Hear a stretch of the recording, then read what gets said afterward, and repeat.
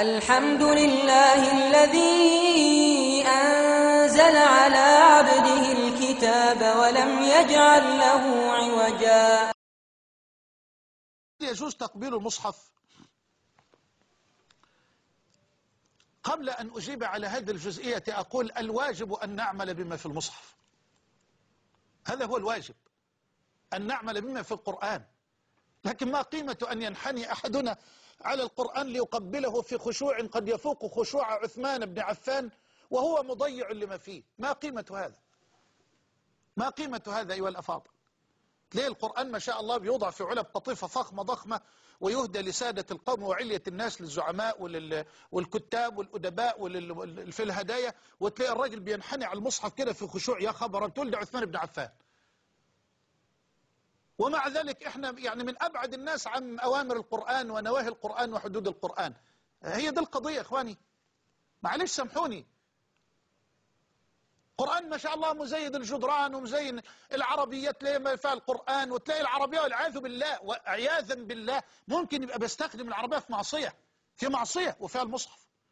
ومعلق سلسلة كده في الضية وفيها المصحف. ما شاء الله.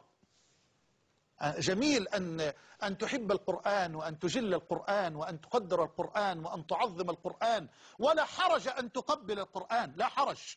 أنا لا أعلم دليلا يمنع من ذلك. لكن الذي يعنيني أن نعمل بما في القرآن. قد يكون تقبيلك للقرآن من باب الإجلال والتعظيم أرجو الله أرجو الله أن يكون من باب ذلك من يعظم شعائر الله فإنها من تقوى القلوب. لا أعلم دليلا يمنعك من ذلك لكن أعلم دليلا يوجب عليك أن تعمل بما في هذا القرآن. بل أعلم أدلة. توجب علينا أن نعمل بما في القرآن أن نمتثل أوامره نجتنب نواهيه أن نقيم حدوده. لينذر من كان حيا. مش لينذر من كان ميتا لا لينذر من كان حيا. ويحق القول على الكافرين. طه ما أنزلنا عليك القرآن لتشقى إلا تذكرة لمن يخشى.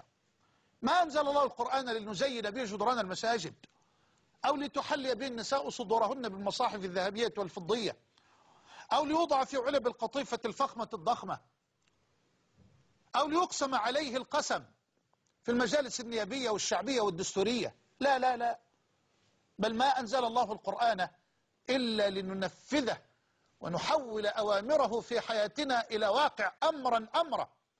ولنجتنب هذه النواهي نهيا نهيا ولنقف عند هذه الحدود القرآنية حدا حدا ولنردد مع القرآنيين المباركين السابقين الأولين.